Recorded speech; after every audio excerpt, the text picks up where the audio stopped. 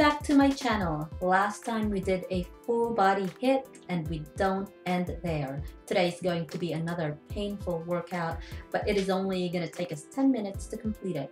Brutal arm workout it is, and we're going to need a couple equipments to perform L-sits at the end of our workout. We will be needing push-up bars, but if you don't own a pair or not ready to do L-sits yet, I have included a simpler version which is L-sit dips. And for that, we will only need a couple books that are three to four inches thick where you can rest your legs while doing dips.